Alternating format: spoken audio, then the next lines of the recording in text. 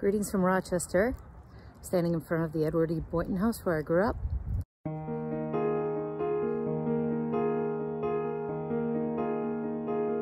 My imagined world taking shape before your eyes, balanced in form, shape, and scale, using light and shadows, changing and fixed.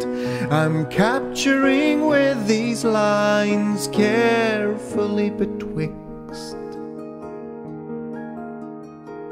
Sunlight that sparkles and shimmers, a dazzling day users transfixed.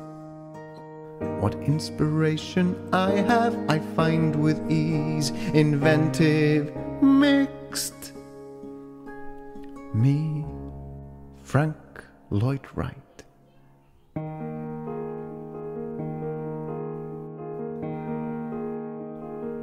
Reimagined world, brick, stucco, with zinc, concrete, mortar, steel, glass, using the land, timber, oak, pine, cypress.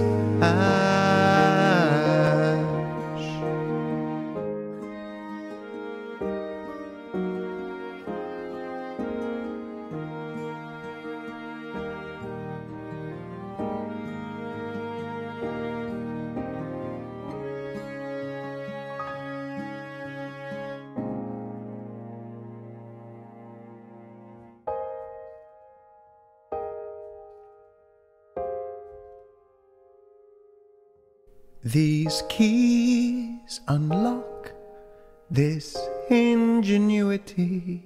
So come on inside, come inside. Constructed, crafted, now savor the space. A long ago place. Receive it.